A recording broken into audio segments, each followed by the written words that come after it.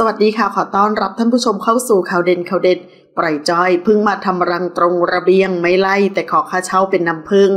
หากพูดถึงแมลงขนาดเล็กที่มีพิษชื่อของพึ่ง ก็อาจหลุดมาในความคิดของใครหลายคน แม้น้ำพึ่งจะเป็นอาหารยอดนิยม แต่ถ้าเลือกได้หลายคนก็คงไม่อยากเจอเจ้าของน้ำพึ่งตัวเป็นๆต่างจากผู้ใช้ติ๊กต็อกรายหนึ่งที่ได้โพสต์คลิปวิดีโอ ที่ทำเอาหลายคนใจเต้นด้วยความตกใจ กับภาพของรังพึ่งขนาดใหญ่ภายในระเบียงห้องของเธอ ที่มีมานานสองเดือน ตั้งแต่เดือนมีนาคมที่ผ่านมา และดูเหมือนว่าสาวเจ้าของห้องจะชิลเกิน นอกจากจะไม่ไล่น้องพึ่งไปแล้ว ยังปล่อยให้น้องพึ่งทำรังขยายใหญ่กว่าเดิม เธอจึงจุดธูปหวังใช้ควันไล่ให้พึ่งหนีไป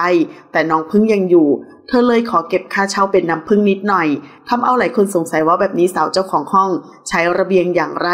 จะไม่ใช้เลย คงจะเป็นไปไม่ได้ เธอไม่ปล่อยให้สงสัยนาน เธอออกมาตอบว่า แอบใช้ตอนกลางคืน พึ่งนอนขี้เศร้ามาก ซึ่งพึ่งมาทำรังในระเบียงของเธอตั้งแต่เดือนมีนาคมที่ผ่านมา และดูเหมือนว่าจะขยายขึ้นเรื่อยๆ แถมเจ้าของห้องก็ดูเหมือนจะคุ้นชิน นอกจากจะได้น้ำพึ่งหวานๆรับประทานตลอด 5 เดือนแล้ว หลายคนที่ติดตามเธอมานานยังได้โชคจากรังพึ่งรวงนี้อีกด้วย ขอขอบคุณข้อมูลจากข่าวสดขอบคุณค่ะ